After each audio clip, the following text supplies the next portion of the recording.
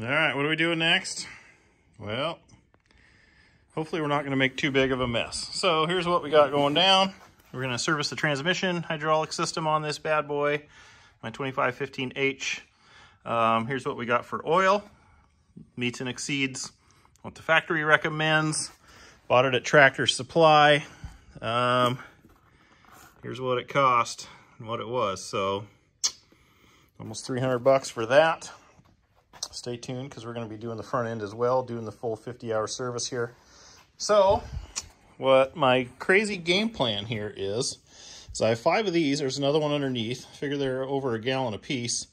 I'm hoping what I can do is fill a bunch of them up. Well, I'm going to open the drain plug underneath. See it right here, the yellow one. Big yellow guy, crescent wrench, cracked it loose. It wasn't very tight. So what I'm hoping I can do, because I don't, there's no way I can fit a five or 10 gallon pan under that thing, is it'll come, hoping it'll come out slow enough if I leave the plugs in up top here, that I can cycle through them, dump them, get the bucket back in the rotation, and cycle through fast enough that doesn't overflow them, you know what I'm saying? Um, it may work, it may just be a complete utter failure but we're going to try it. So whatever. If nothing else, I can at least fill five, put the plug back in, fill the other five and be good because I believe it's 9.7 gallons is what they claim. So what I'm going to do is put the clean oil into here. Well, clean. The used oil into here. Then once I'm done, I will be pouring it back into those um, to save or burn in a smudge pot or find somebody that just needs some hydraulic oil for whatever, right? So, all right. Let's roll the dice. Also, do not forget you're to need filters. So the transmission and hydraulic system filters here. Got them from my local dealer. They were not cheap either. I think they're 20, 30 bucks a piece, something like that if I remember right. Um, got my slip here. Here shows the filters. All right, here goes nothing. Hope this works out as planned. If not, it's going to be quite interesting. This was the only plug I found in the system. Guess we'll see how fast it comes out. That'll that'll be the telltale of what's going to happen here. This might not work at all. Fortunately, it's not too big of a hole, but there is 10 gallons pushing on it, right? Boy, that's a long sucker. Oh boy, yeah, I don't know. Well, I can kind of see. Well, it is a magnetic plug, which is cool. I can see it filling up the bucket. This might work, guys. This might work. Where are we at here? Once we get up to the line, I'm going to switch the next bucket in. Can you guys see that? I hope you guys can see it.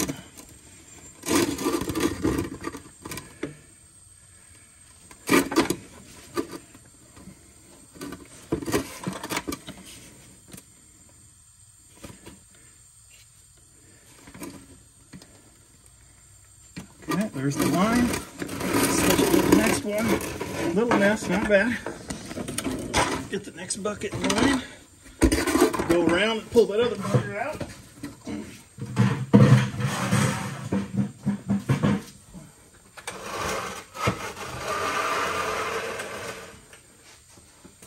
Oh yeah, that's gonna work great.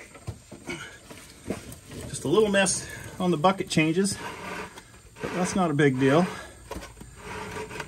I have plenty of time to dump it as I need to here. So here we're getting close. I mean, it's gonna make a little mess, but what do you do? Okay, there we're at the line. The next bucket. Go. So I'm gonna run out here and dump dump that bucket real quick. Get the next one ready.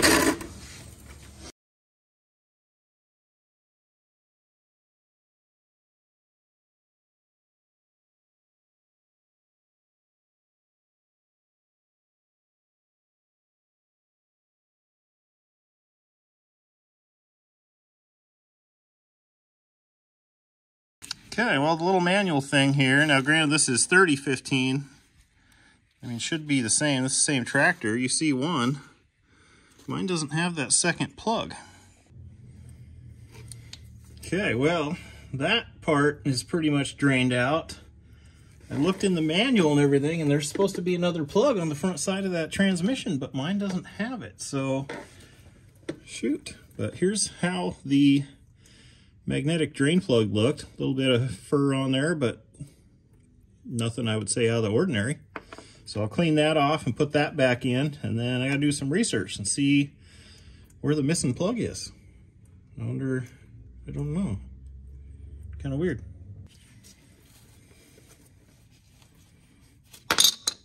Nice. Slimy.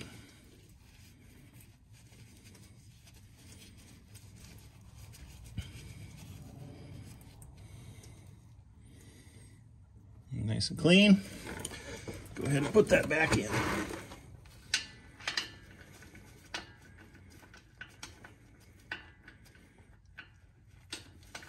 Come on, baby.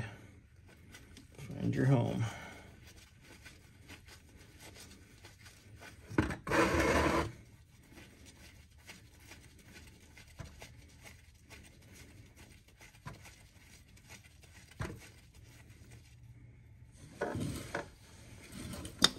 Clean it really good.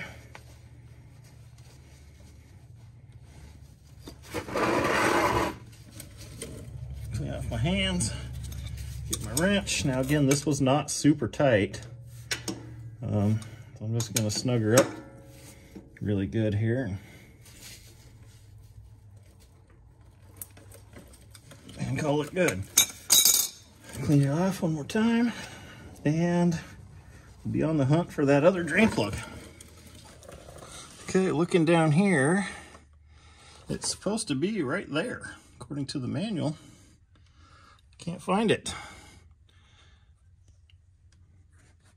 Also, just to show you how dirty that oil is, it's pretty dirty. One thing to check in the services and periodically is loose bolts and stuff. If you look right here, one of the ones for the tow bar or whatever you want to call it, the hitch is definitely not tight.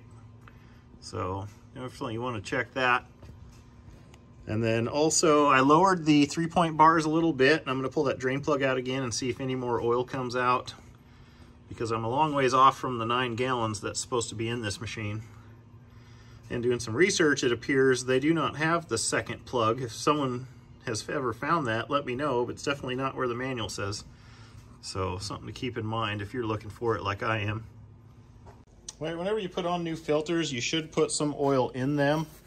Um, we'll see how this goes because I'm probably gonna make a mess trying to pour a five gallon drum into here, but it is what it is.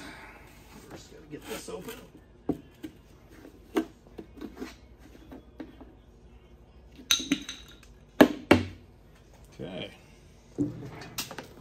Maybe if I elevate them off the ground, it'll be a little easier. Eh, let's give it a shot. What the heck? I think if I pour this upside down, I think we'll do okay. Right? In theory. Here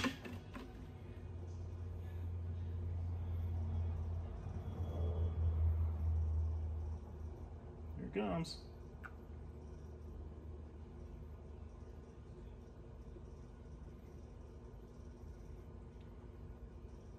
Next.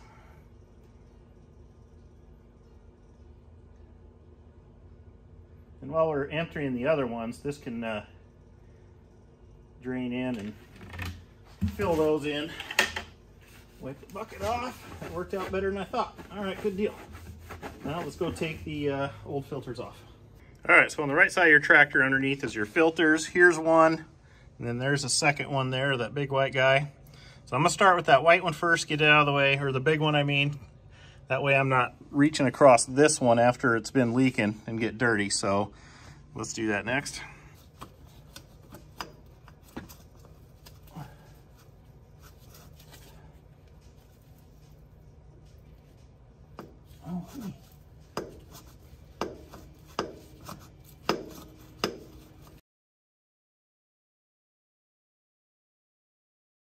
Okay, let's get the new filter and put that on. Okay, just as tight as you can get it by hand, and that's good.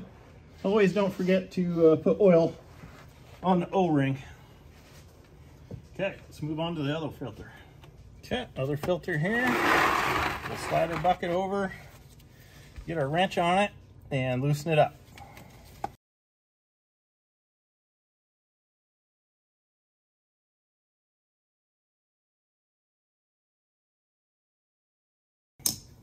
And we'll grab our new filter. And you always want to make sure you get oil on this O-ring, right? So I take some of the oil, smear it around here, get it on there good, and put her in place. Again, you don't need to beef it on tight with a wrench, just like changing the oil in your car or tractor. Just get her snug by hand, like that, and you're done. Clean that up probably let it sit a little bit and let the rest of the oil come out around it and then clean it up again. So that way after we fire it up and drive it around, we'll know if there's any leaks. So next step, final step, is adding fluid back into the transmission. So you got your two plugs here. This one has your dipstick on it, which I checked before I emptied it. This one is supposed to be your fill, and it was tight. I could not move it by hand. I got a huge Knipex on there, and it seemed like it was gonna break it, but it didn't and it did finally come loose. So that does unscrew, in case you're not sure. That's what I assumed. Again, that's why I'm making this video, guys, is because there's just, there's no info out there on how to do this stuff. So people will tell you, but they don't give you the details and the tips like I do. I don't know, if you guys got any better ideas, let me know. I've got this kind of longer, stretchy funnel. Um, it still doesn't have the biggest hole at the bottom end, which I'm not overly excited about. But I am not sure what else to do. So this is what we're gonna do. Let me grab my oil and we'll get to pouring. Half tempted to pour it into a smaller bucket. Go from there. To be honest with you.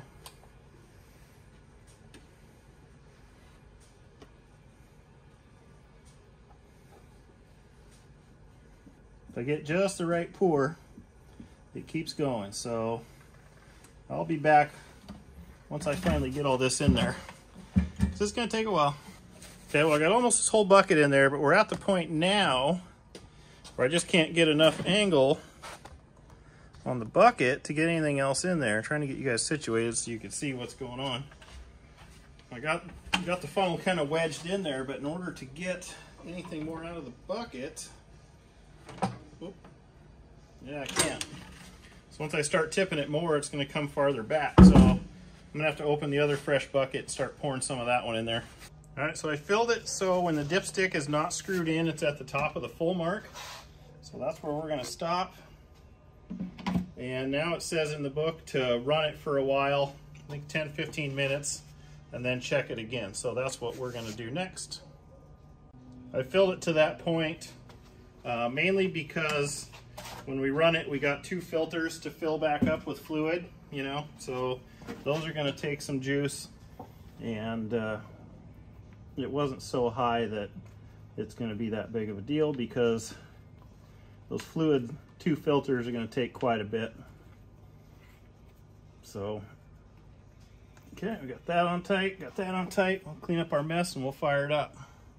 Okay, what we're gonna do next is check for leaks, make sure nothing's dripping out, and then we're gonna fire it up for a bit here. It says here to run the engine for a moment, and activate hydraulic thing. So we'll run the bucket up and down, three point up and down, that kind of stuff. Um, and it says to wait 10 or 15 minutes before checking the oil level. So kind of weird, but it must take some time for it all to kind of get back into there.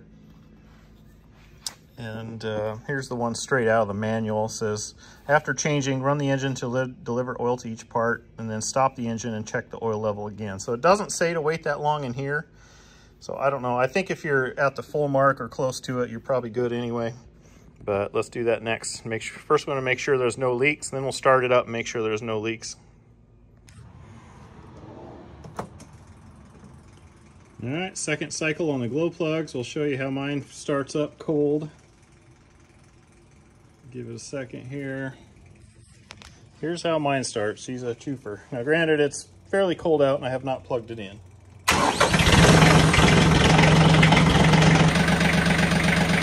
Sorry the iPhone quit there just as it was doing its magic, but now I'm going to run the hydraulics up and down, make sure everything works, and then we'll shut it off, let it rest for a few and check how everything is going.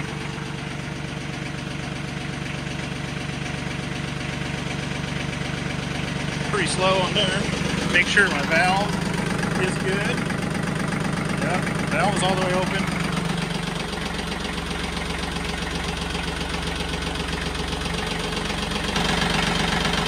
Must be getting too many videos in here. This thing keeps shutting off mid-video.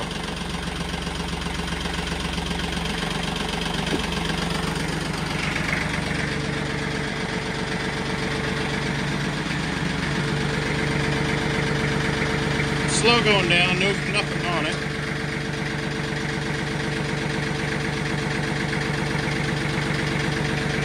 Normal, I guess. Comes up good though. That's how we like to see it deal. Anything leaking? A little bit from that one, but I think it just needs to be wiped off. Nothing else underneath.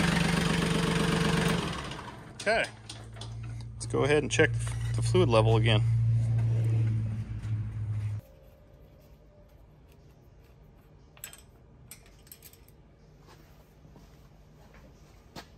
Wipe it off. Do you know, are you're supposed to check them with it screwed down or not?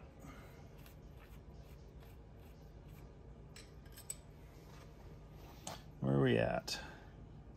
Just barely on the dipstick, so I'm gonna have to add a fair bit more. All right, add a little more. She is definitely full.